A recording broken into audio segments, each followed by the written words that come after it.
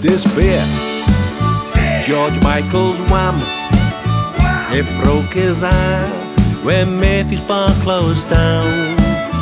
The happiest man in Dublin town. Till they razed Murphy's bar to the ground. And he sang to La Rue in Murphy's